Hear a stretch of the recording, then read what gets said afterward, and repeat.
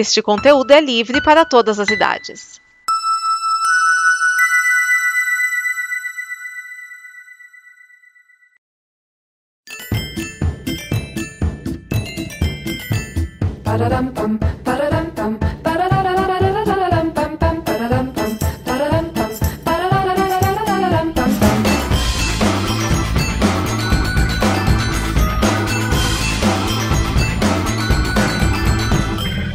Vamos começar esse ano falando com ela, que foi eleita a mulher do ano. Apesar dela aparentemente não gostar muito do título, ter um pouco de vergonha. Germana Viana, tudo bom? É muita responsa, gente, é muita responsa ser mulher do ano. Tem gente salvando vidas, eu tô fazendo gibi. Então, tem gente salvando vidas e você empatou com essa pessoa. Veja só. É, aí é, é. Tudo bom? Você. Primeiramente, deixa eu perguntar, o que, que nós temos aqui hoje à venda? Tem, tem os livros e tem os prints que eu quero que você explique. É, Lise Bordello 1 tinha esgotado, mas aí o pessoal da Jambô, muito lindo, pegou com as lojas que estavam em consignação, né? Recolheu e me passou uma caixa, então eu tenho mais um- alguns para vender antes que esgotem até a CXP. Tem Lise Bordello 2, tem Amor em Quadrinhos, que eu participei, tem uma série de artistas que participaram, foi um catarse muito bem sucedido, que são poemas da Glauca, Gláucia, e aí a Milena Azevedo roteirizou. Então são várias histórias, e é muito bonito, muito fofinho, é um trabalho muito amorzinho, assim. né? E E os prints? e os brindes, eu tenho alguns estanques, que é a união de Steve com Buck, que é um clássico, eu seria madrinha deles facilmente. Tem Deus Tá Vendo, que é a minha personagem da Lizzie Bordello. E tem uma Delírio aqui.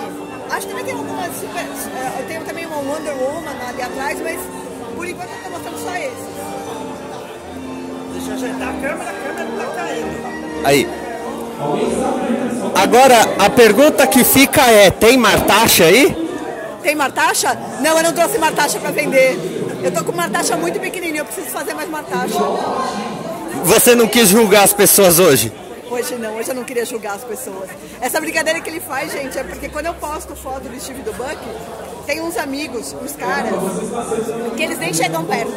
Mas quando eu posto foto da Natasha, né, a, a Viúva Negra, com a Maria Rio, se pegando, meus amigos, esses amigos correm na hora pra dar like. Eu falei, vou julgar vocês. Tem que dar like em tudo. Você, vo- repetindo, você foi eleita mulher do ano. Como que você vê esse ano de 2017? Em que sentido? Tem tanta coisa pra se ver em 2017? Você diz de produção de quadrinhos? Eu digo no geral, porque quando, por exemplo, mulher do ano, né? E aí é por esse ano todo, mas como que você vê esse ano? É um ano que vai valer a pena esquecer? É um ano que vai valer a pena lembrar? Cara, eu acho que por pior tenha sido o ano, nunca vai valer a pena esquecer, porque sempre vai ter experiências que são legais. Né? É, foi um ano difícil para todo mundo, foi, né? Não, não tá sendo um ano fácil pra galera, mas é um ano em que todo mundo tá produzindo muita coisa legal, tá saindo muito material lindo, então quer dizer, não tem essa de jogar o ano pra se esquecer, entendeu? É, sempre vai ter algum detalhe, algum lançamento, algum acontecimento que é lindo. E agora, para encerrar, porque ano passado teve o potinho da discórdia. Mas esse ano eu quero que você me diga alguma coisa na qual você está otimista. Cara, eu tô muito otimista. Eu ganhei esse ano o prêmio do HQ Mix pelas Empoderadas, né? Que é um outro gibi que eu faço. E assim, eu tô muito otimista porque eu tô vendo a galera da velha guarda começar a se abrir pra diversidade, se abrir pra representatividade. Então eu acho isso bem importante.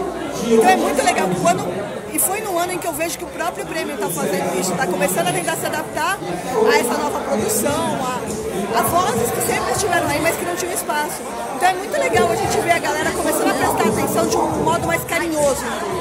Então isso vale. Tô bem otimista com isso. Ei, calma, The Mullet Show ainda não acabou. Quer dizer, esse acabou, mas tem muito mais. Espera mais 5 segundos para você assinar o canal e curtir mais The Mullet Show. Certo? Fui. Isso, isso, isso é legal. Isso, isso, isso é legal. Isso, isso, isso é legal. Isso, isso, isso é legal.